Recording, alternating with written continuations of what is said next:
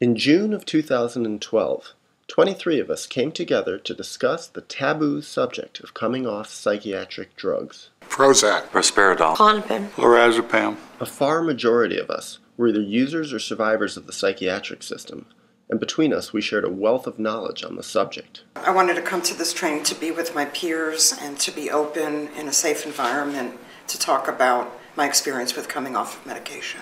Ambien. Thorazine. Seroquel. Nardil. I came to this training because it's so easy to get on medication and so difficult to get off. because I think it's pretty easy to come off drugs and just quit taking them, but it's really hard to stay off and maintain your own wellness while doing that. I came to this training because I want to know how to safely come off from them.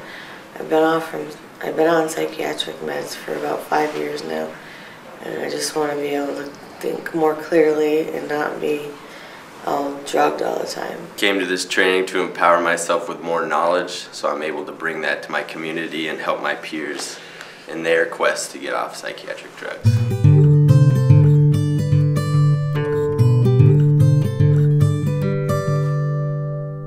We were led by Will Hall, author of the world renowned Harm Reduction Guide to Coming Off Psychiatric Drugs, and Oryx Cohen, a leader in the alternative mental health movement. I wanted to come to the training because um, it, coming off psych drugs was a huge part of my own recovery. to share what I've learned about coming off medications because I see too many people are trying to come off medications on their own without support and without uh, good information. We came together to share, but we also came together for inspiration.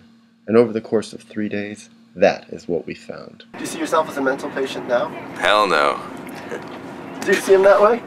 I don't see him as a mental patient, no. How do you see him? I see him as someone who went through struggles of, you know, altered perceptions and someone who really took the effort to gain the knowledge about what was going on and to move through it without just re-going through the system and re-going through that cycle.